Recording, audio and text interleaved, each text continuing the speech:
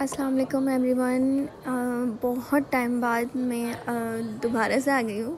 हाज़िर हूँ आप लोगों के लिए मेकअप ट्यूटोरियल लेकर। आज का ये लोग आप लोग देख सकते हो तो आज स्टार्ट करते हैं। अच्छा यहाँ पे सबसे पहले आपको अपनी स्किन को प्रेप कर लेना है। उसके बाद मैं नेक्सस का जो दो बेस है, वो मिला के यूज़ करूँगी। एक थर्टी सिक्स और एक थर्टी एट दोनों को आपको मिला के यूज़ करना है।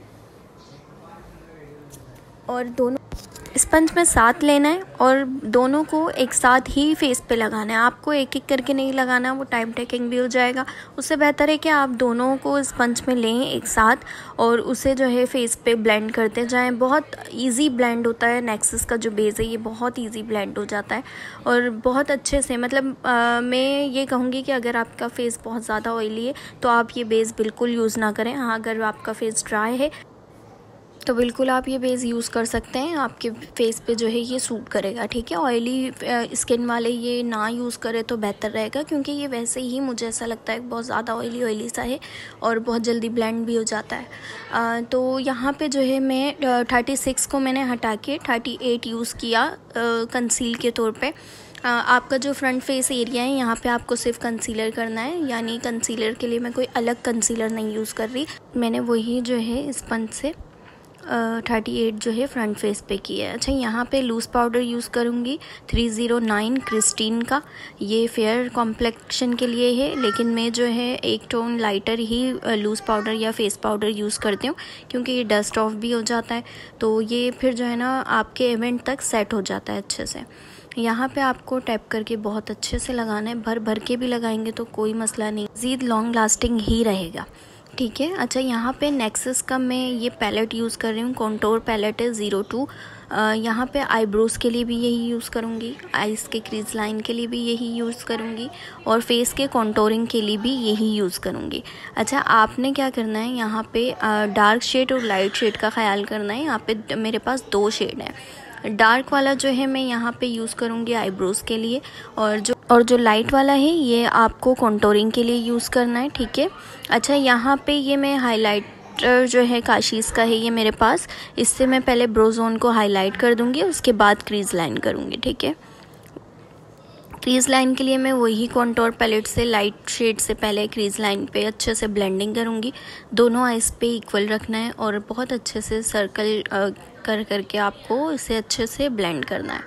दोनों आइस की ब्लेंडिंग होने के बाद आपको डार्कर शेड से आउटर कॉर्नर पे भी ब्लेंडिंग करनी है ठीक है? इसी किट से आपको कोई और दूसरा शेड नहीं लेना। आपको यही लाइट और यही डार्क ब्राउन यूज़ करना है ठीक है? अगर आप कॉन्टोर पैलेट में से नहीं यूज़ करना चाहते हैं आप शेड किट से भी यूज़ कर सकते हैं।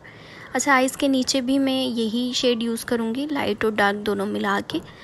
और आ, ये तो आजकल ट्रेंड पे है आप ये ट्रेंड पे भी है तो अच्छा भी लगता है। और हर आइज़ पे हर आई मेकअप पे ये अच्छा लगता है।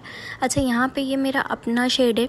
ये मैंने लिक्विड शेड है मेरा, जिस पे ये दो ही शेड्स अभी आए हैं। एक गोल्ड है और एक जो है डायमंड है। ये गोल्ड है, ये लिक्विड शेड है। ये मैं आपको दिखा देती हूँ लगा के। ये इसके पिगमेंट्स आउटस्टैंडिंग है और उसके अलावा इसके नीचे आपको कुछ भी लगाने की ज़रूरत नहीं है। जैसे कि जैसे कि हम यूज़ करते हैं ना लिक्विड वो डस्ट या ग्लिटर के नीचे आई ग्लू वगैरह डस्ट ग्लू वगैरह तो वो आपको इस पर नहीं यूज़ करना ये लिक्विड आप ब्रश से फ़ौरन लगा सकते हैं। अच्छा ये याद रहे, ये आपको बला इसमें नहीं लगाना। जिनको बहुत ज़्यादा पसीना आता है, उनको भी नहीं लगाएँ तो बेहतर है। वैसे ये जो है ना, इसको लगाने के बाद आपको थोड़ी देर छोड़ देना है ड्राई होने के लिए, उसके बाद आप लाइनर लैशेस ट्यूब लगा सकते हैं। ये लगने के बाद इतना, इसके ऊपर आपको कोई ग्लिटर या कोई डस्ट लगाने की भी ज़रूरत नहीं है। इसकी पिगमेंट इतनी ज़बरदस्त है, आप लोग देख सकते हो, मेकअप कंप्लीट होने के बाद भी बहुत अच्छा लुक देता है आई पे। तो यहाँ पे आपको सिर्फ़ यही लगाना है, कट क्रीज भी आपको बेस से करने की ज़रूरत नहीं आप ब्रश से डायरेक्ट इसी से ही कट क्रीज कर सकते हो। अच्छा यहाँ पे लाइट शेड से जो है मैं अपना कंटोर कर रही हूँ। कॉन्टोर जो है मेरे फेस पे तो बहुत ज़्यादा ज़रूरी है क्योंकि मेरा चबी चबी सा है तो मैं तो बहुत करती हूँ कॉन्टोरिंग अगर आपके फेस पे नीट नहीं भी है तो मेरा मानना है कि आपको कॉन्टोरिंग करनी चाहिए, क्योंकि जब हम बेस लगाते हैं फेस पे तो उसके बाद जो है बेस हमारे फेस को जो है वो पूरे फेस को एक जैसा कर देता है, जिसकी वजह से आपके कट्स जो है वो बेस बेस के बाद इतने इन्हेंस नहीं हो रहे होते हैं तो आप कॉन्टोरिंग कर लिया करें। अच्छा यहाँ पे नोज़ कॉन्टोरिंग चिन कॉन्टोर ये सब मैं करने के बाद अपना लिक्विड ब्लश यूज़ करूँगी। मैं आपको दिखाती हूँ अभी कि वो लिक्विड ब्लश कौन सा है जो मेरा फेवरेट है, मुझे बहुत पसंद है।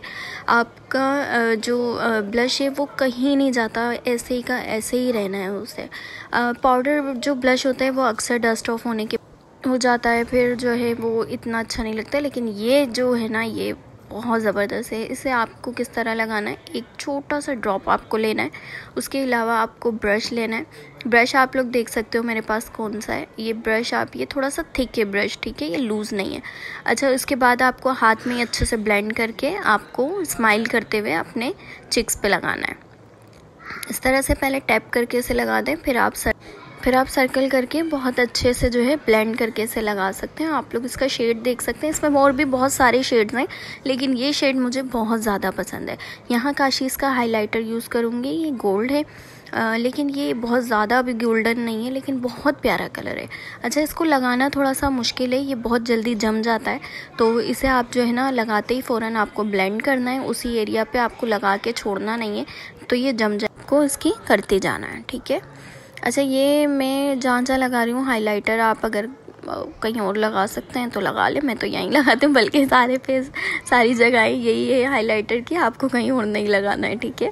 अच्छा ब्रोजोन पे मैं पहले लगा चुकी थी, आई मेकअप स्टार्ट करने से पहले ही मैंने ब्रोजोन को हाईलाइट कर लिया था, इसलिए अब हाईलाइट जो है वो ब्रोजोन पर नहीं करूँगी। फ्रंट फेस एरिया कहते हैं, हमारे जो ये, यहाँ पे हम हाईलाइट करते हैं कंसील करते हैं, इसे हम फ्रंट फेस एरिया कहते हैं। ठीक है? अच्छा ये आजकल जो मैं लैशेज़ यूज़ कर रही हूँ ये है ये वाले लैशेज़ ये फाइव फिफ्टी में आपको सेवन पेयर्स मिलते हैं और बहुत अच्छे लैशेज़ हैं। आ, मैंने ये जो है ली है बॉल्डन से। बहुत अच्छे आ, जो लैशेज़ हैं। सेवन पेयर्स हैं इसमें। आजकल मैं यही यूज़ कर रही हूँ ठीक है? फाइव फिफ्टी के मुझे मिले हैं। अच्छा, इसके साथ मैंने यूज़ किया है क्रिस्टीन का लैशेस ट्यूब जो बहुत बहुत बहुत अच्छा है। और इसके बाद बॉब का मस्कारा और यहाँ पे और उसके बाद हो जाएगा मेरा आई मेकअप डन। और फिर मैं करूँगी लिप्स। आजकल मेरे जो लिप्स है, लोग बहुत पसंद कर रहे हैं कि आप पे लिप्स बहुत सूट करते हैं तो हाँ सूट तो करते हैं। अच्छा यहाँ पे मैं एक आशीष का जो है, ये चेरी टेंट पहले अपने लिप्स पे लगाऊँगी। कोई भी ऑमरे लुक नहीं दूँगी, मैं जो शेड यूज़ करूँगी, इसी से ही मैं फिल भी करूँगी, इसी से ही आउटलाइन भी बनाऊँगी। तो यहाँ पे ये जो मेरा शेड है, ये न्यूड है और ये बहुत प्यारा शेड है। और मैं अपने लिप्स इस तरह से बनाती हूँ जो आप लोग को पसंद आ रहे हैं। तो आप लोग देख सकते हो मेरा फाइनल लुक यहाँ पे। उम्मीद करती हूँ आप सबको पसंद आएगा। जिन्होंने अब तक चैनल सब्सक्राइब नहीं किया है चैनल को सब्सक्राइब कर लें। अल्लाह हाफिज़।